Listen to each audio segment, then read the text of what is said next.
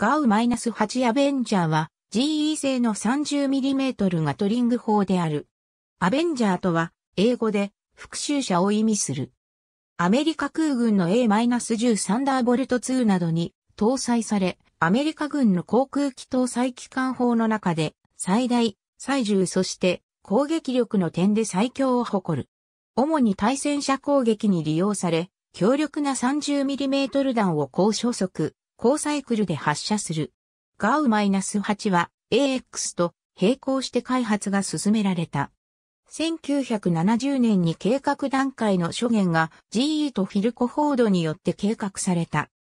AX の機体として開発された A-10 サンダーボルト2とや -9 は初期段階の時期にガウ -8 を搭載することができず、その間は M61 バルカンが暫定的に使用され、ガウ -8 が装備された A-10 は1977年に収益した。ガウ -8 は A-10 の機体の1、3ほどの大きさ、空虚重量の1、4もの重量があり、専用のドリーが作られている。ガウ -8 は、機体中心線から少しだけ左にずらして設置されているが、これは弾丸を発射する方針が、機体中心線の位置になるよう配置したためである。また全部膠着装置は、ガウ -8 をかわすため右側にずらして取り付けられている。ガウ -8 は、現在では生産が行われておらず、開発、生産した GE に代わって、マーティン・マリエッタにより保守整備が行われている。A-10 に搭載されたガウ -8 角方針は非常にシンプルな構造であり、方針と包尾そして有定からなっている。ガウマイナス -8 の構造の基礎となったガトリング砲と同様に方針の回転によるカムの動きで発射速度が変化する。方針は油圧モーターで駆動する。ガウマイナス -8 単体の重量は 281kg であるが、球団システムやプグル -14 を満載したドラムマガジンなどを含めた全備重量は 1830kg にもなる。また、重工から機関部までの長さは5.81メートルであり、ドラムマガジン単体では長さが1.82メートル、直径が86センチメートルある。このドラムマガジンには最大で1350発の 30mm 機関砲弾を搭載できるが、1174発がごく一般的な搭載量となっている。小位鉄鋼弾の初速は秒速990メートルであり、ガウ -8 の小型版とも言える M61 バルカンの 20mm 機関砲弾とほぼ同一の初速を得る。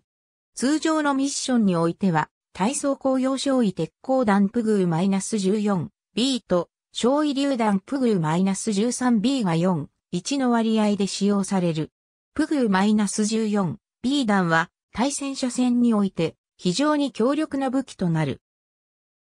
球弾はリンクレス球弾方式でリンクがない分蛍光弾薬を軽量化でき、リンクとの分離不良による弾詰まりの可能性を減らすためである。また、発射前後での機体バランスの悪化を防止する目的もあり、空薬莢は機外に放出せず、断層に回収する。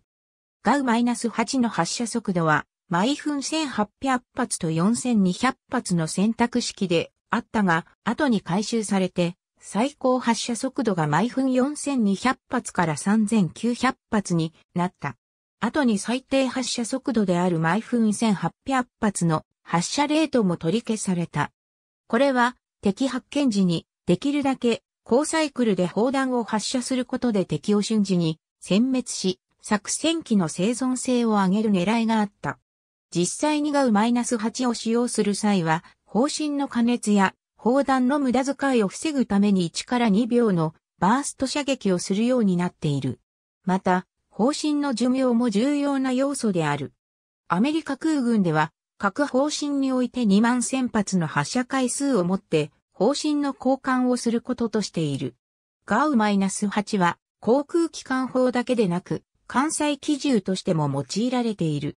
まずガウマイナス -8 を単層に配した EX-83 砲画が開発され、1981年にはスプルーアンス級駆逐艦メリルにおいて試験が行われた。また GE では、オランダのシグナール社と共同で、この EX-83 に射撃式システムと補足レーダーを連動させた近接防御火器としてゴールキーパーを開発した。また、ガウマイナス -8 の方針を4本に減らすなど軽量化を図ったガウマイナス -13 も開発されており、連射速度は毎秒65発から40発に低下したが、反動力も68%の3060重量キログラムに低減された。アメリカ空軍では、これを収容した GPU-5 A ガンポットを海 -16A B 戦闘機に搭載して A-10 攻撃機の代わりに近接航空支援に投入することも検討しており、このポットを搭載する機体は海 A-16 と続称された。湾岸戦争で実戦投入されたものの、反動による飛行への影響を補正するソフトウェアが未完成で外装式だったこともあって弾着が安定せず、わずか1日で使用は中止された。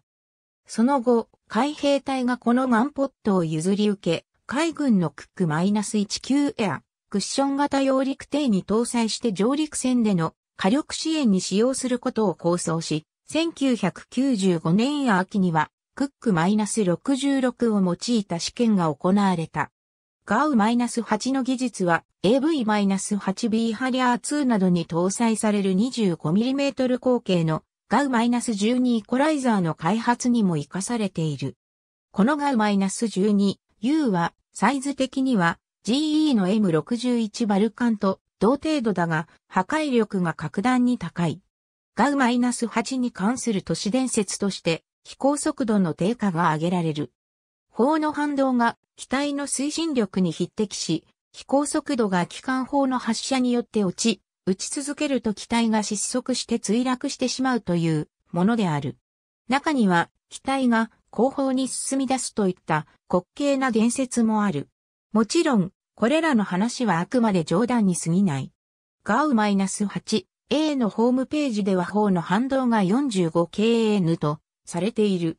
対して A-10 サンダーボルト2の両エンジンからの最大出力は 80kN であり、飛行機を止めることはできないが、わずかな速度低下を引き起こすことができる。実際に、アメリカ空軍ではガウ -8 の方針先端に、マズルブレーキをつけて、反動を低減する仕様が試されたが、試験の結果、保有する機体に、この種の改造をする必要はないと結論付けられたという。また、発射反動は砲の取り付け位置にも影響を与えている。機関砲弾はガウ -8 を正面から見て、およそ9時の方向に方針が到達した際に発射されるので、そのリコイルがちょうど機体中心に来るように、機関砲全体を少々左側にずらして設置している。これは開発中にガウマイナス -8 を機体の中心に据え付けたところ、蒸気の発射特性のため反動で機体の姿勢が乱れた結果、着弾点がずれてしまったことに起因している。アリゾナ州ツーソンのデビスモン山空軍基地の第335戦術飛行隊隊長によると、ガウ -8 発射時の反動に起因する問題はないという。ガウ -8 には、機関砲格納庫と取り付けマウントの間に、リコイルアダプターと呼ばれる反動吸収装置が組み込まれており、発射時の反動を軽減する働きがある。また、A-10 のエンジン2方の発射ガスが入り込むことで、エンジンがストップしてしまうのではないかという疑惑もある。これは、発射ガスに酸素が含まれていないからで、エンジン内部での燃焼の妨げになるという意見に起因するものである。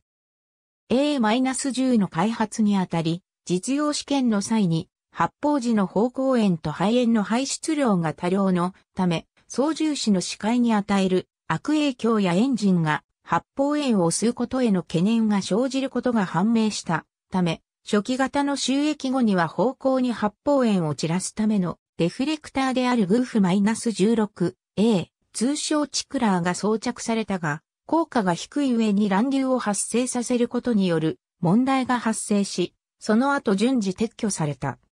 方向部をフェアリングで覆う形状とすることも検討されたが、テストの結果空力特性の悪化などの問題が生じ、方向は露出式のままとなった。